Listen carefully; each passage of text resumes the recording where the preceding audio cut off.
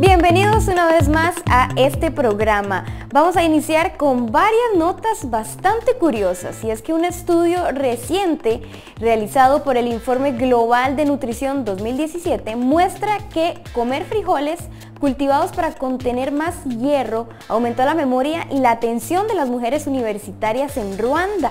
Los frijoles, especialmente biofortificados, podrían ser importantes en un continente donde la deficiencia de hierro afecta tanto a los adultos como a los niños con consecuencias fatales. Genevieve Mukanama está secando frijoles en preparación para el mercado. Mukanama exporta frijoles biofortificados a Uganda. Con los ingresos de las ventas, la viuda puede satisfacer las necesidades básicas de su familia. Sin embargo, no ha sido fácil para Mukanama. Ella dice que tomó un tiempo antes de que los locales aceptaran los frijoles biofortificados. Cuando comencé a cultivar estos frijoles fue difícil. Los residentes aquí no estaban familiarizados con los frijoles, así que tuve que empezar a vender a precios muy bajos en el mercado. Ahora a mis clientes les gustan los frijoles biofortificados y la demanda ha aumentado. Un estudio reciente del Centro Internacional de Agricultura Tropical ha demostrado que comer frijoles con mayor contenido de hierro mejora las capacidades cognitivas de las mujeres entre 18 y 27 años.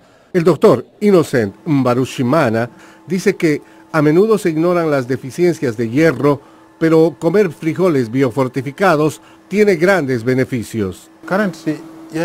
La gente no comprende que los frijoles biofortificados son más ricos en vitaminas y proteínas que otras comidas rápidas que toman. El profesor de la Universidad de Ruanda, Jean Gahutu, dice que debido a que las mujeres en edad reproductiva tienen un mayor riesgo de deficiencia de hierro, los frijoles biofortificados son la mejor manera de combatir ese problema. Henry Llanos, Voz de América.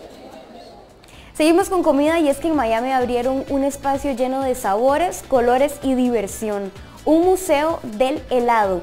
Después de entrar a un lugar como estos, de seguro uno no se puede resistir a estos apetitosos y dulces postres. Localizado en Miami Beach, el concurrido y nuevo en Florida Museo del Helado abre las puertas a una diversión distinta. Se trata de una experiencia en la que se promete sin duda saborear ricos helados y de distintos tipos. Aquí vas a encontrar no solo la experiencia que vas a ver entrando a una exhibición, pero también le gustamos eh, activar los cinco sentidos de cada persona. So, no solo vas a ver cosas bellas, pero también te damos para que pruebe cosas deliciosas.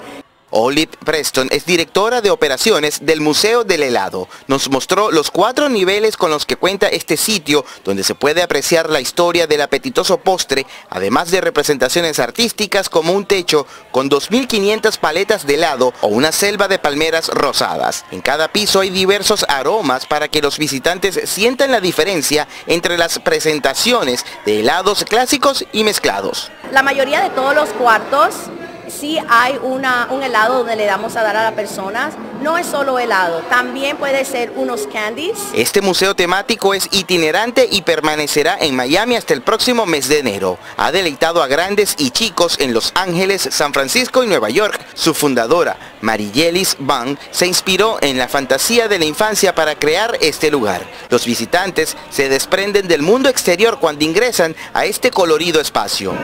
Estaba súper emocionada por venir porque siempre me ha gustado todo lo que es así como experiencia. Una de las atracciones principales es esta piscina de chispas de caramelo. Allí sin duda no hay excusa para no pasarla bien. José Pernalete, Voz de América, Miami. Para todas las personas que aman James Bond y el Superagente 86 es el regalo perfecto. Un par de zapatos muy bonitos y elegantes que están llenos de compartimentos ocultos. En jerga, este es un dulce par de zapatófonos. Este elegante calzado se ve bien en la oficina, pero también brinda seguridad en caso de una billetera robada o casi cualquier otra cosa imaginable. Uno de los conceptos originales era ¿qué pasa si sale por la noche y pierde su chaqueta con todo su contenido? Bueno, se puede construir un mini teléfono Se puede construir muchos dispositivos que creo que le dan esa habilidad y luego evolucionó y se convirtió en la idea del agente secreto, la supervivencia urbana, simplemente muy bueno y divertido. Y todo está escondido en el tacón del zapato. A pesar de la obvia novedad, los diseñadores Mark Noble y Tim Cooper dicen que realmente se trata de función y forma.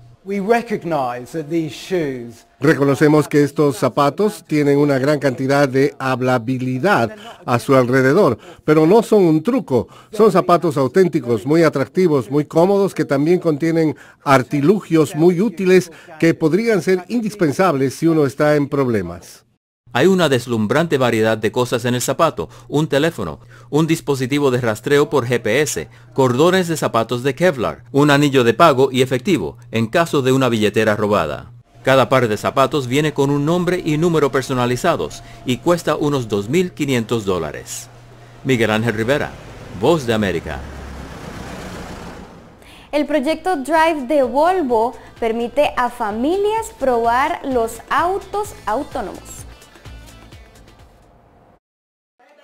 La familia Simonovsky participa en una prueba para ver cómo responden personas reales a los vehículos automatizados. Es emocionante estar a la vanguardia del desarrollo de nuevas tecnologías y nuevas funcionalidades en automóviles nuevos. Eso fue lo que llamó mi atención y mi interés. La familia conduce un Volvo semiautónomo en la carretera como parte de un plan de cinco etapas para sacar los vehículos automatizados de los laboratorios y hacia las carreteras.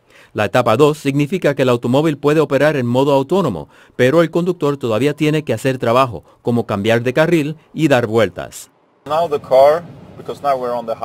Ahora el automóvil me propondrá entrar en la conducción autónoma. Este es un tramo de 80 kilómetros por hora. Con un simple movimiento de un interruptor, el automóvil entra en modo autónomo. El propósito de dejar que la gente real pruebe la tecnología es porque la forma en que reaccionan los conductores es tan importante como el funcionamiento del automóvil. Este automóvil es un automóvil de investigación y es muy importante comprender que el automóvil no conduce solo con la tecnología, tiene un conductor de respaldo. La razón por la que usamos este automóvil es para poder probar con personas reales en carreteras reales lo que se experimentaría en un auto totalmente autónomo como en 2021. En la etapa 3, el automóvil tomará el control de más funciones de manejo y en la etapa 4, el automóvil controlará todo y solo solicitará ayuda humana en caso de emergencia. Volvo espera comenzar las pruebas de campo de la etapa 4 para el 2021. Miguel Ángel Rivera, Voz de América. Vamos a una pausa, pero cuando volvamos les vamos a enseñar cómo científicos utilizan células madre humanas para reparar las médulas espinales de ratones, permitiendo que estos roedores parapléjicos vuelvan a caminar.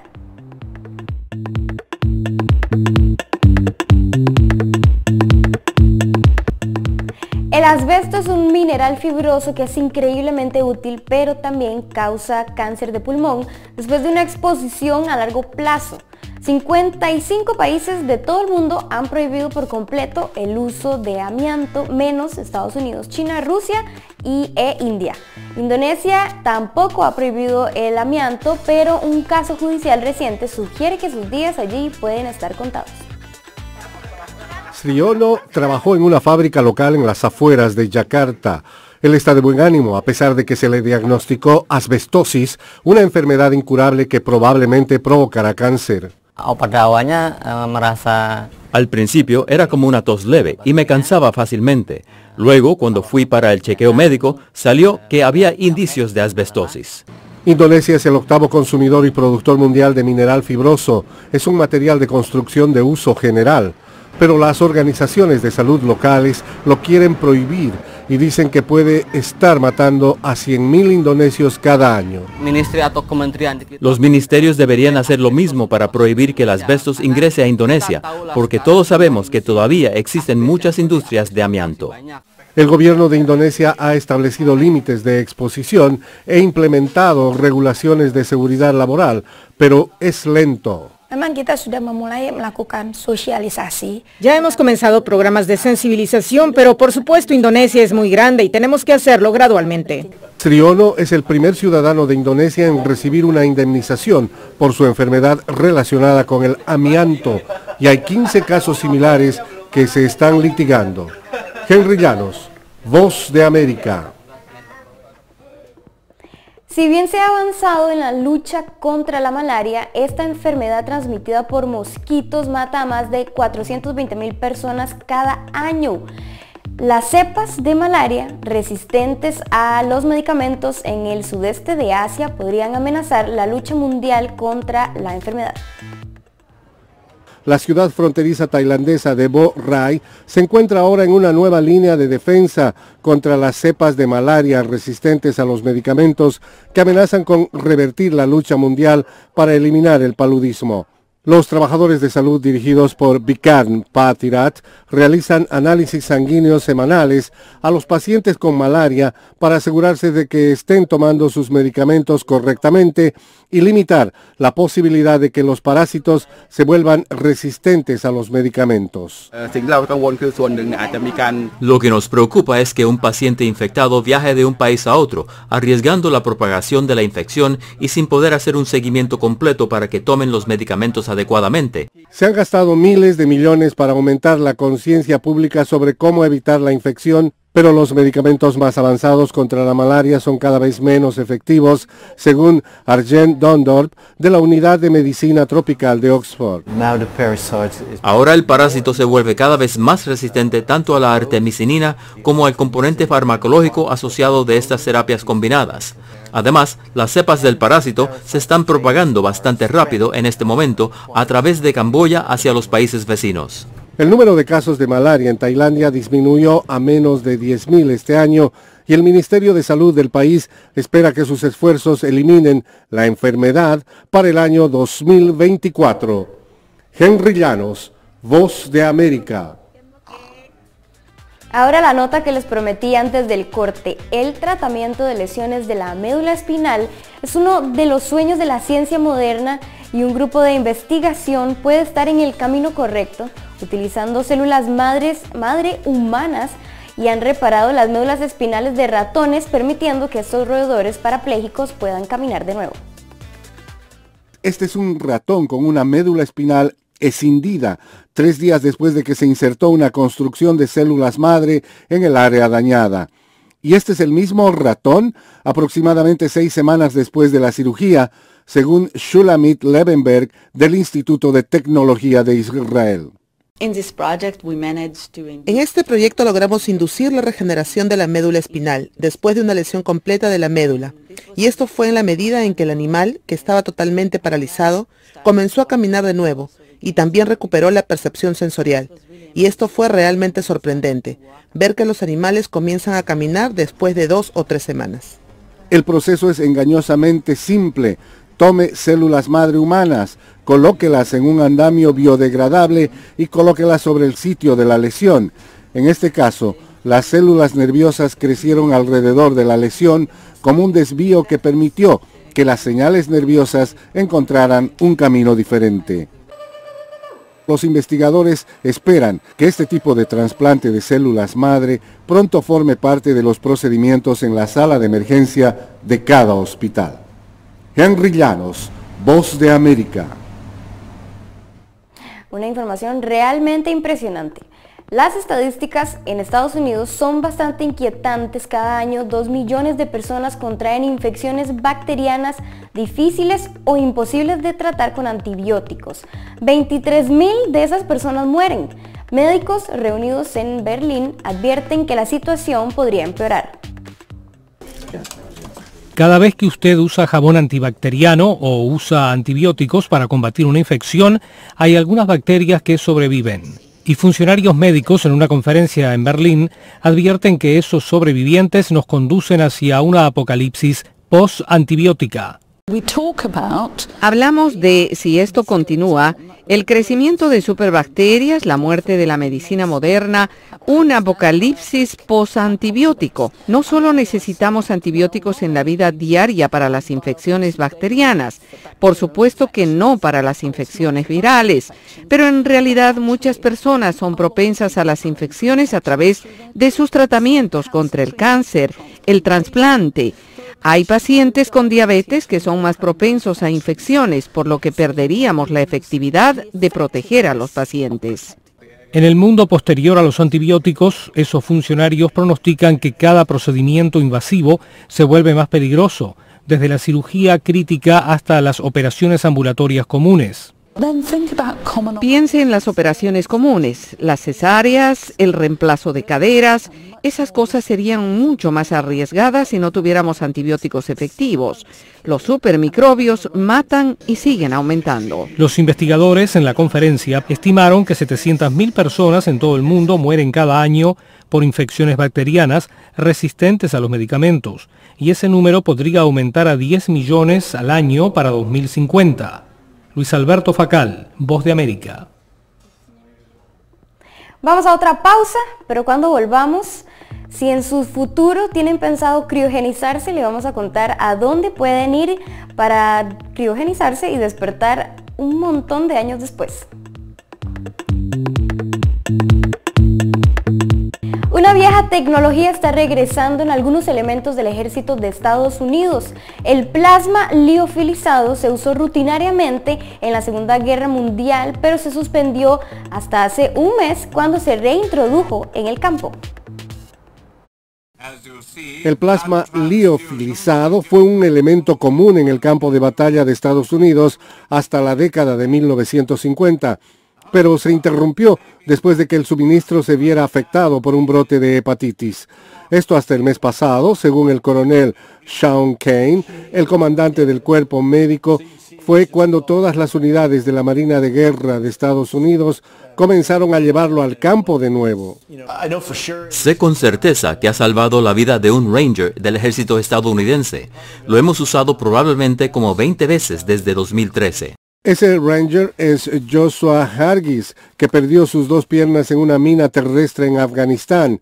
El plasma lo mantuvo con vida durante más de 90 minutos hasta que pudo ser evacuado a un hospital de campaña. La rápida disponibilidad del plasma liofilizado en lugar de congelado marcó la diferencia. Dado que está en forma de polvo, solo tenemos que reconstituirlo con agua. Podemos hacerlo en aproximadamente dos minutos en lugar de 25 a 35 minutos y tenerlo en el sitio, listo para funcionar. Los militares reciben su plasma del extranjero ya que aún no ha sido aprobado para su uso por la Administración de Alimentos y Drogas de Estados Unidos pero el ejército está trabajando con compañías nacionales para obtener esa aprobación. Henry Llanos, Voz de América.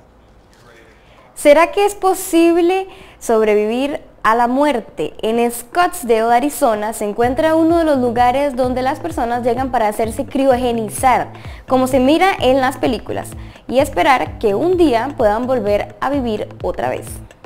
Um, esta es la paciente más joven que tenemos, una niña tailandesa de dos años. Tenía una enfermedad terminal y fue criopreservada en 2015. Cada vez que pensamos en la criogenia, pensamos en cosas como la serie animada de Matt Groening, Futurama, o en películas como Eternamente Joven, con Mel Gibson. Sin embargo, en Arizona, Estados Unidos, existe un lugar donde la gente llega para hacerse criogenizar a 160 grados centígrados bajo cero, con la esperanza de que las tecnologías del futuro puedan permitirles vivir otra vez. En Alcor Life Extension Foundation, hoy más de 150 personas esperan ser despertadas.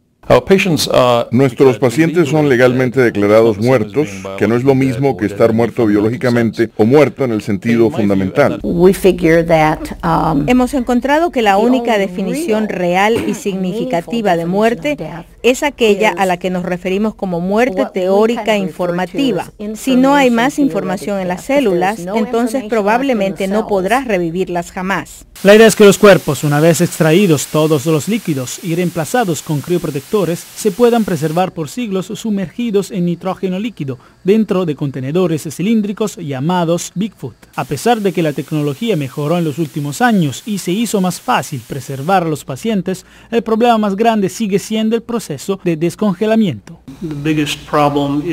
El problema más grande es que no hemos demostrado, excepto en animales extremadamente simples, la reversibilidad. Para organismos más grandes u órganos más grandes, la reversibilidad ha sido difícil de conseguir. La convicción es que avances tecnológicos como máquinas moleculares podrán reparar las células dañadas por el congelamiento y restablecer las funciones vitales. Sin embargo, es imposible establecer cuándo pasará. No serán más que un par de siglos. Muchos científicos todavía se muestran escépticos sobre la criogenia y su factibilidad real. Esperar que algo pase en el futuro es una cosa maravillosa, pero no hay absolutamente evidencia científica de que se pueda congelar a alguien vivo y traerlo de nuevo a la vida con todas sus memorias. Mientras más de mil personas ya dieron su autorización a Alcor para ser criogenizadas una vez muertas, hoy el proceso cuesta entre 80 y 250 mil dólares. Nuestra intención es interrumpir el proceso de la muerte para que los pacientes tengan una posibilidad de volver a una vida saludable y funcional en algún momento en el futuro. No es solo una manera de morir, es lo contrario, es una manera de vivir. Jacopo Luzzi, Voz de América. Un tendedero en Washington es una muestra de arte realizada por la artista mexicana Mónica Mayer. Un tendedero puede devenir en un medio para transmitir un mensaje y sensibilizar sobre dos temas muy actuales, el acoso y la violencia sexual contra las mujeres, y puede alentar a otras a compartir y hablar sobre sus experiencias. Ese es el fin de la exhibición El Tendedero, presentada en el Museo Nacional de Mujeres Artistas en Washington, donde cada persona respondiendo a preguntas escritas en hojas rosas, como por ejemplo si ha experimentado violencia o acoso en su vida, puede expresar sus ideas, emociones e historias personales y colgarlas en los alambres del tendedero.